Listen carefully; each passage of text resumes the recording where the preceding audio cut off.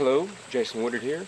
I'm reviewing and testing one of Ronin Katana's new Elite Series katanas.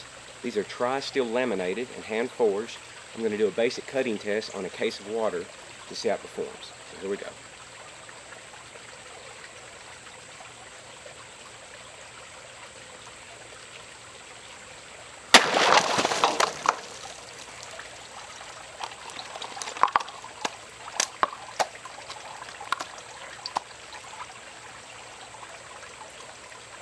As you can see, the katana cut through every one of the bottles very easily.